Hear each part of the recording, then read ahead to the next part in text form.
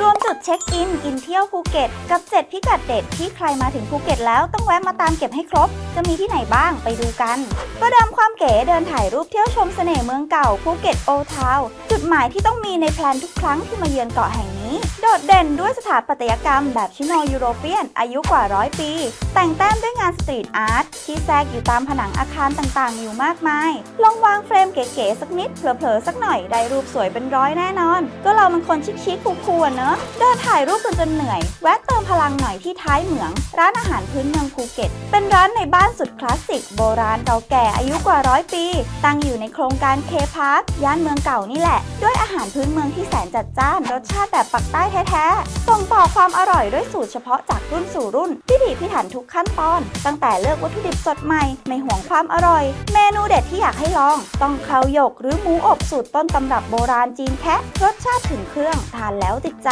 อิ่มท้องแล้วไปลุยกันต่อที่เกาะเฮ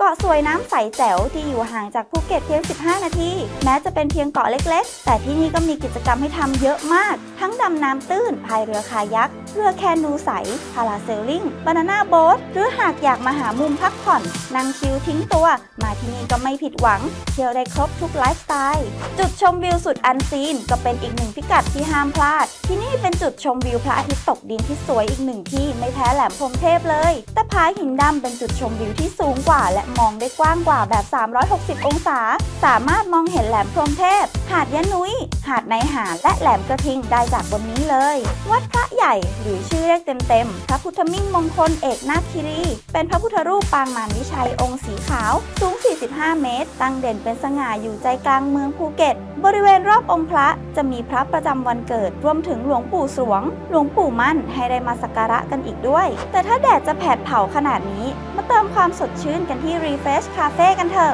ที่นี่เป็นคาเฟ่เปิดใหม่ แต่ยืนหนึ่งเรื่องเมนูผลไม้ที่สุด ทั้งน้ำผลไม้สกัดเย็น ชากาแฟ สมูทตี้เขาก็มีครบ หรือใครมาหิวหิวอยากจัดหนัก เขาก็มีอาหารสไตล์ brunch พร้อมเสิร์ฟด้วยจ้า ก่อนเดินทางกลับ พาหามุมสงบสงบๆปิดทริปกันที่ หาดกล้วย เป็นหาดสวยเล็กๆ ที่อยู่ระหว่างหาดลายัน และหาดในทอน มีความเงียบสงบและทัศนียภาพที่สวยงาม น้ำใสน่าลงเล่นสุดๆ ไฮไลท์คือกองหินน้อยใหญ่รูปทรงแปลกตา และธารน้ำจืดที่ไหลออกสู่ทะเล ตรงนี้ถือเป็นจุดถ่ายรูปยอดฮิตเลยล่ะ เป็นยังไงกันบ้างคะกับ 7 พิกัดน่าเช็คอินกินเที่ยวภูเก็ต หากใครกำลัง plan เที่ยวภูเก็ต ก็สามารถเพิ่มไว้ใน list ได้เลย ได้รูปสวยๆแน่นอน ถ้าชื่นชอบก็อย่าลืมกดแชร์ ติดตามเว็บไซต์ หรือแอปพลิเคชัน b u g a b o o TV กันด้วยนะคะ จะได้ไม่พลาดคอนเทนต์ดีๆใน b u g a b o o TV ค่ะ